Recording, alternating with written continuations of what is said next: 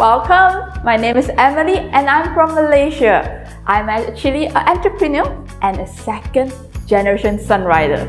This time, Healthy Living Festival by Sunrider, I'm gonna share with you my favorite recipe of chocolate.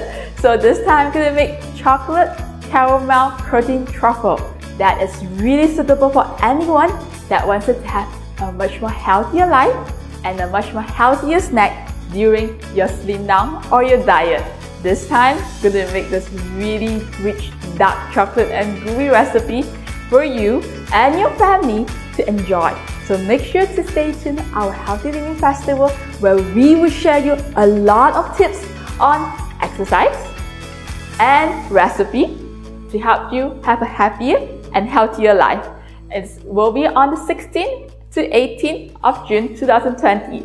So make sure to stay tuned and look for my recipe. See you there. Bye.